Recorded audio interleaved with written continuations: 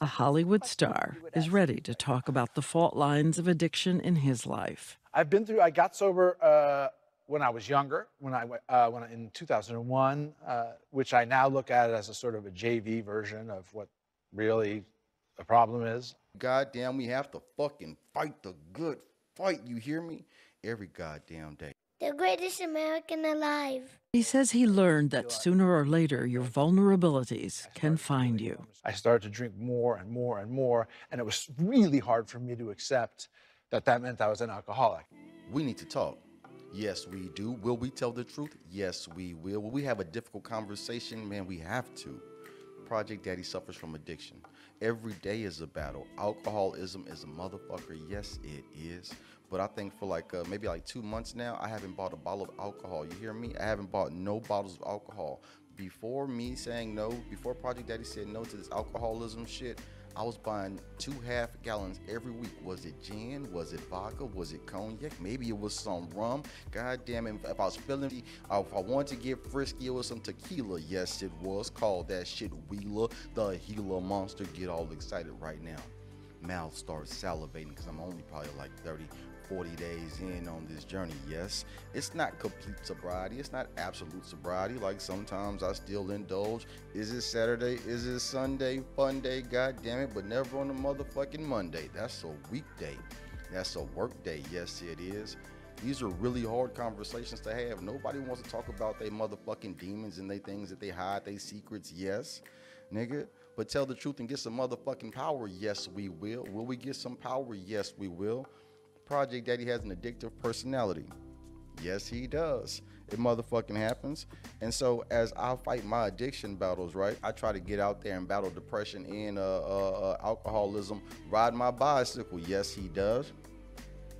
And just so happened, I wasn't planning on going off road and I just wanted to do a little 30 minute brisk ride and come right on back, right?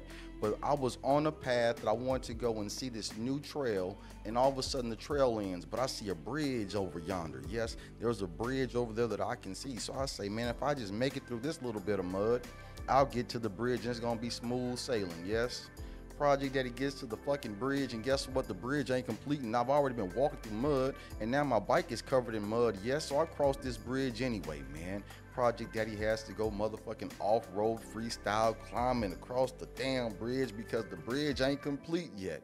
It's kind of dangerous. But Project Daddy laughs in the face of danger. Yes, he does. Get to the end of the bridge and I look to see, man, uh, where's the rest of the trail? There ain't no goddamn trail. All there is is motherfucking mud. Damn look back and say, uh, should I turn around? Hell no. Came too far, kept on trudging through the goddamn mud, mud as far as the eye can see. What's the point? Have you ever been stuck in the mud? Battling addiction can seem like a journey that does not end. It just keeps on going. And like when things get really hard, right? Because I'm a dad who misses his children. Sometimes I see them, most of the time I don't. And so to, to deal with that pain of missing the thing that you created, that love that you have in your heart for your own creation, your children, yes. How the fuck can you make that sound inside your head fucking quiet? I don't know. Alcohol was a goddamn su- uh, a substance that I used to try to quiet that sound, but it didn't work so good. Started to get a pop belly. Ugh, can we tell the truth? Yes, we will. Can we have an honest conversation? Man, we have to, right? And so Project Daddy was walking past the mirror, looked in the mirror and saw this motherfucking big ass pop belly. Yes. Ooh, it did not look good. Project Daddy said, we got to change this, tell the truth and get some power. Looked in the mirror. Project Daddy looked in the mirror, square in his eyes, and was like, damn, nigga, you five foot eight, 235. Nigga, you fat, Project Daddy. You need to do something about this shit. And I was like, man, I tried to change my diet. I tried to eat more better, but I kept on fucking drinking. And at some point, Project Daddy said, this shit has to stop this shit has to motherfucking stop. Can we talk? I mean, we need to talk. We need to have honest conversations. But even though I battle addiction every fucking day, it feels like I'm trudging the goddamn mud, yes? And so as I'm out there on my excursion, remember Project Daddy's out there trying to fucking ride his bicycle to battle depression and anxiety and alcoholism. Yes, he was. And then all of a sudden, Project Daddy finds himself stuck in the damn mud. And so what do I do? I just keep on trudging along, trudging along, trudging along. And guess what I come to find? Project Daddy comes to find it's about two miles worth of mud. Yes. At the end of the mud, I come to find, I look on my GPS on my phone and damn, I'm seven miles away from my target destination. Oh my goodness, Project Daddy just wanted to go seven miles. Now done doubled my trip and I'm covered in mud. I'm talking about from head to toe because I had to carry my bike on my shoulders like. Oh, yo, you know what I'm saying? Like I'm a goddamn bike trekking motherfucker on this day. It was a Sunday.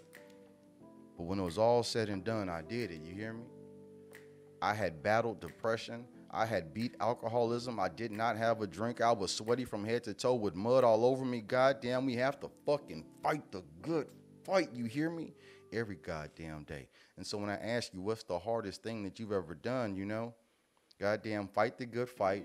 Win that war. You can do it because you're the greatest American alive The greatest American alive. because of what you contribute to the society, right? And so you deserve to be unreasonably happy. You, the greatest American alive, deserve to be unreasonably happy. Yes, you do. And can you be unreasonably happy? Yes, you can. How you define happiness, huh? I define happiness by goddamn winning the hard fights, you hear me? I define happiness by doing hard shit.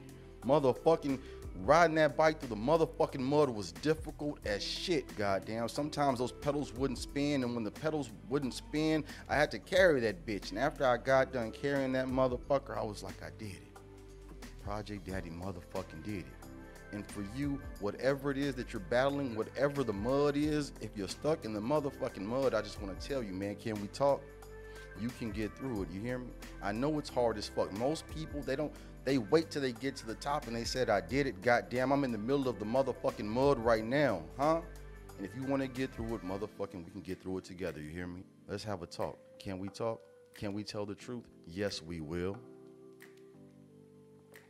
vitamins and minerals inside that cup. Yes, it is. Life Aid, given to me by a good ass friend. They said, hell, you still need to partake in a stiff drink. And that drink has magnesium and shit, has a little buzz to a little fizzy fizzy, but it's water. Life water. And I hope that you can motherfucking get through whatever your situation is, battle whatever addiction. Cigarettes might stop eventually, perhaps. I don't motherfucking know. One thing at a time one step at a time.